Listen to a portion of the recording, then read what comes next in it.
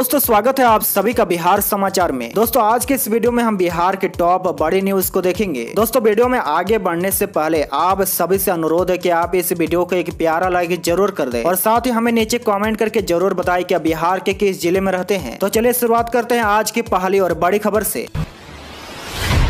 बड़ी खबर में देखिए, बिहार में ज़मीन के दाखिल खारिज का बदला नियम। फ़र्स्ट इन फ़र्स्ट आउट के साथ ऑड इवेंट का होगा पालन। जी हाँ देखिए, ज़मीन के दाखिल खारिज के वादों के तेज़ी से निपटारे को लेकर राज्य में गुरुवार से फ़र्स्ट इन फ़र्स्ट आउट और ऑड इवेंट नियम के साथ नई व्यवस्था प्रभावी हो गई है। यानी अंचल में म्यूटेशन के लिए जिस क्रम से आवेदन आएँगे, उसी क्रम से उनका निपटारा भी किया जाएगा। म्यूटेशन में समय अधिक नहीं लगे, इसके लिए अंचल अधिकारी विषम संख्या वाले हल्का और राजस्व अधिकारी सम संख्या वाले हल्का के दाखिल खारिज वादों को निपटाएँगे। राजस्व एवं भूमि सुधार विभाग ने सॉफ्टवेयर को अपडेट कर नई व्यवस्था को पायलट प्रोजेक्ट के तौर पर राज्य के पाँच अंचलों में लागू किया है।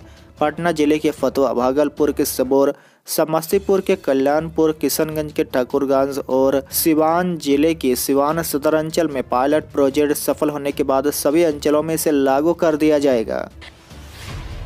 बड़ी खबर में देखिए, चीन को पीछे छोड़ भारत बना सर्वाधिक आबादी वाला देश। जहाँ देखिए, भारत की जनसंख्या चीन से ज़्यादा होने की संभावना है। अनुमान है कि वर्ष 2022 के अंत तक भारत की आबादी एक दशमलव चार एक सात अरब तक पहुँच चुकी है। जनगणना पर केंद्रीय संगठन वर्ल्ड पोल्यूशन रिव्यू का यह दावा है। और देखिए, वर्ल्ड पोल्यूशन रिव्यू के मुताबिक चीन में हाल में आधिकारिक रूप से बताया गया की उसकी जनसंख्या एक दशमलव चार एक दो अरब है। इधर पर भारत की आबादी चीन से पचास लाख ज़्यादा चुकी है। वहीं संयुक्त राष्ट्र का अनुमान है कि भारत की आबादी इस साल के अंत तक चीन से ज़्यादा होगी। रिसर्च प्लेटफॉर्म मैक्रोडेंट का भी अनुमान है कि भारत की आबादी एक दशमलव चार दो आठ अरब हो चुकी है। बता दें कि भारत में 2021 में जनसंख्या होनी थी लेकिन कोरोना की वजह से इसे स्थगित कर दिया गया है। बड़ी खबर में देखिए, बिहार में बिजली चोरी रोकने को हर घर में होगी मीटर की जाँच। जी देखिए, राज्य में ठंड के मौसम में बिजली की निर्बाध आपूर्ति के बीच बिजली चोरी की घटनाओं में बढ़ोतरी हुई है। जनवरी महीने में अब तक दो सौ चौवालीस लोग अवैध रूप से बिजली उपभोग करते हुए पकड़ा जा चुके हैं। चोरी का यह मामला महज दस हज़ार घरों की मीटरों की जाँच करने पर उजागर हुआ है। पेशों ने इन सभी के खिलाफ एफआईआर दर्ज भी कराया है। वहीं पेशु बिजली चोरी पर लगाम कसने के लिए अब नियमित हर घर के मीटरों की जाँच करेगा।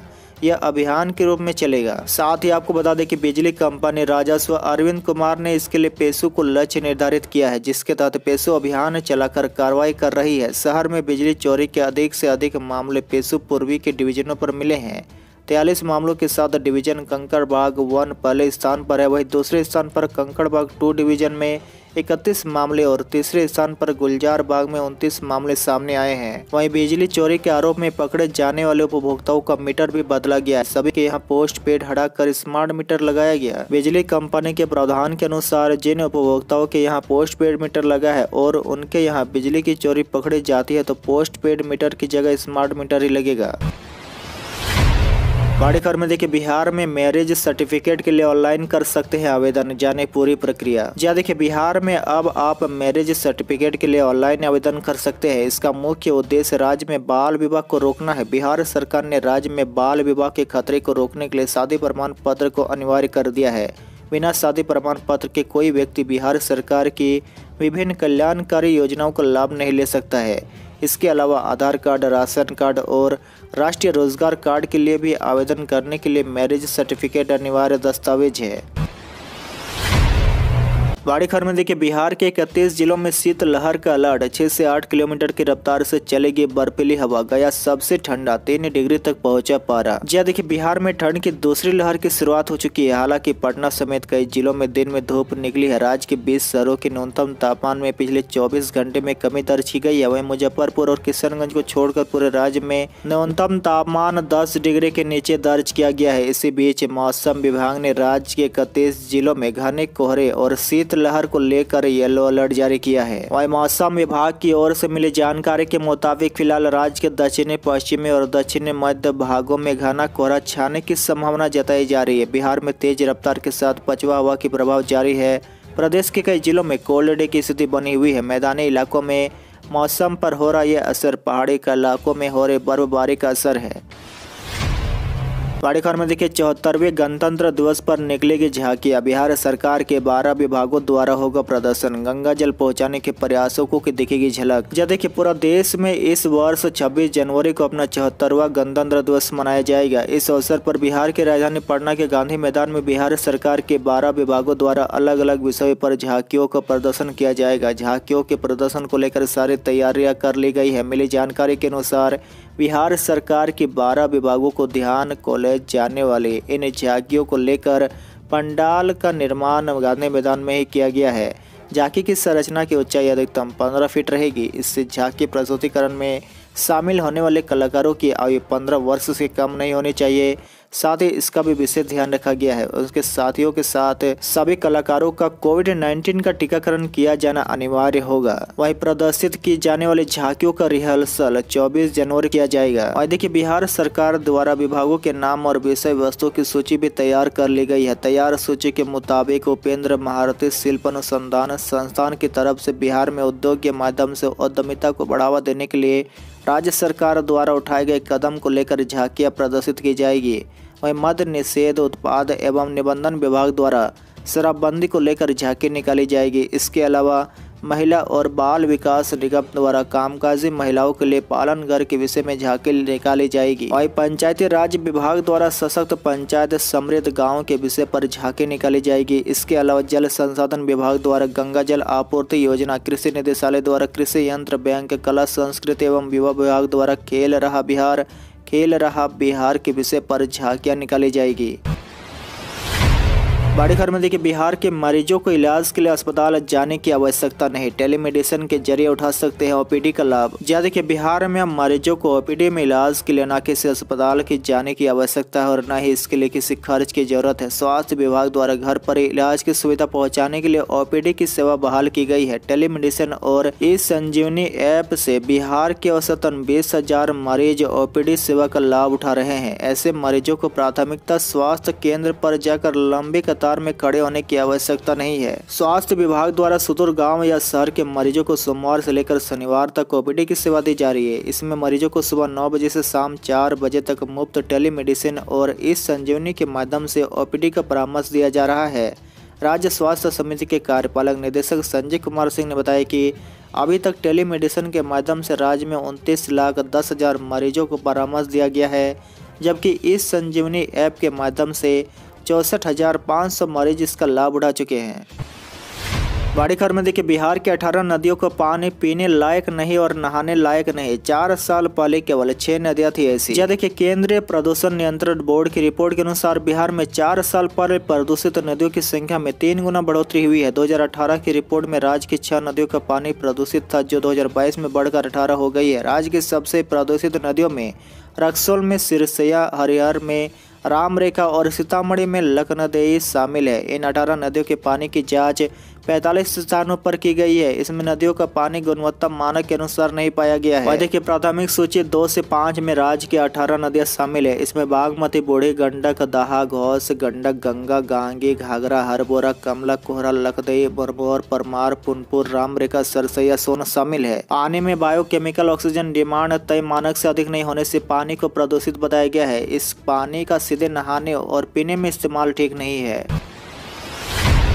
बड़ी खबर में देखिए, बिहार में गाड़ियों की खरीद में पूर्णिया के लोग सबसे आगे। भागलपुर रह गया पीछे, देखिए अपने ज़िले की स्थिति। या देखिए, वाहनों की खरीद बिक्री में बिहार के अन्य जिलों की अपेक्षा कोसी सीमांचल व पूर्वी बिहार में पूर्णिया को छोड़ अन्य कोई भी जिला टॉप फाइव जिलों में शामिल नहीं हो सका है। यह स्थिति सिर्फ़ दो हज़ार बाईस का ही नहीं, बल्कि वर्ष दो से लेकर अब तक इन इलाकों के ज़िले टॉपर की भूमिका नहीं निभा सका है। इसका असर न सिर्फ़ सरकार के खजाना पर पड़ा है, बल्कि ज़िले की बढ़ती घटती गति को आंकड़ा दर्शाया गया है। भारत सरकार के मिनिस्ट्री ऑफ़ रोड ट्रांसपोर्ट एवं हाईवेज को आंकड़े के इस बात का खुलासा हुआ कि बिहार के टॉप फाइव जिलों में पिछले पाँच सालों में जिन जिलों ने जगह बनाई है, उसे हटाकर दूसरा कोई भी जिला उसे काबिज नहीं कर सका है। स्थिति यह कि रजिस्ट्रेशन में पटना, मुजफ्फरपुर, गया, पूर्णिया व मोतिहारी, ट्रांजैक्शन में पटना, मुजफ्फरपुर, पूर्णिया, सिवान व दरभंगा, रेवेन्यू में पटना, मुजफ्फरपुर, पूर्णिया, गया व दरभंगा और परमिट में पटना, मुजफ्फरपुर, दरभंगा, पूर्णिया व गया अपनी जगह पर कायम है।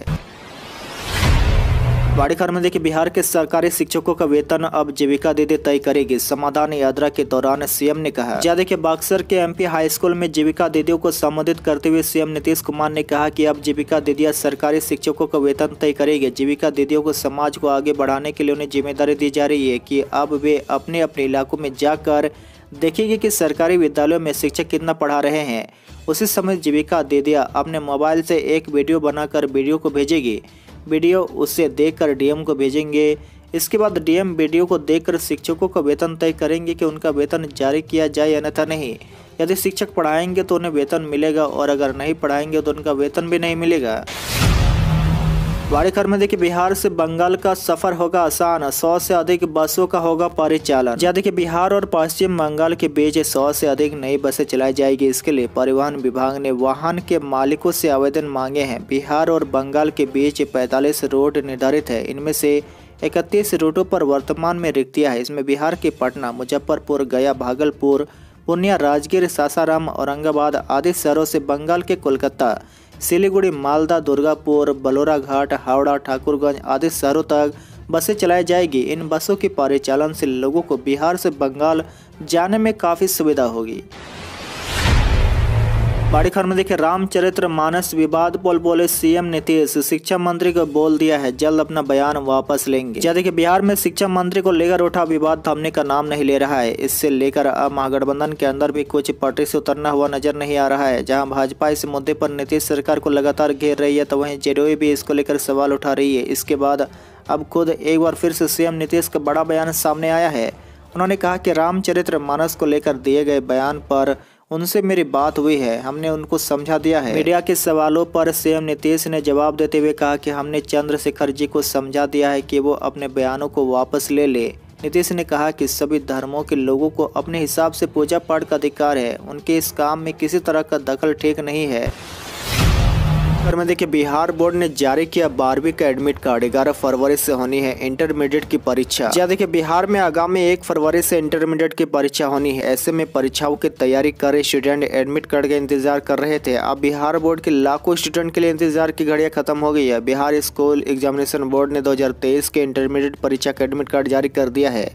वे सभी छात्र छात्राएँ जो इस बार बारहवीं की परीक्षा दे रहे हैं अपने एडमिट कार्ड डाउनलोड कर सकते हैं। बी बी ने इंटर परीक्षा का प्रवेश पत्र अपने ऑफिशियल वेबसाइट पर रिलीज़ कर दिया है। इसे स्कूलों के प्रधान चार ऑनलाइन डाउनलोड कर सकते हैं। बारहवीं के तमाम बेताते जो इस बार एग्ज़ाम देंगे, वह अपने स्कूल जाकर अपना एडमिट कार्ड प्राप्त कर सकते हैं। इंटर का एडमिट कार्ड इकतीस जनवरी दो हज़ार तेईस तक बी बी के ऑफिशियल वेबसाइट पर मौजूद रहेगा। सभी स्कूलों के हेड मास्टर वक्त, रहते इस आधिकारिक website inter twenty three dot Bihar board online dot com पर जाकर प्रवेश पत्र डाउनलोड कर ले। आज के लिए बस इतना ही। इसी तरह बिहार के डेली न्यूज़ देखने के लिए आप हमारे चैनल को ज़रूर सब्सक्राइब करें।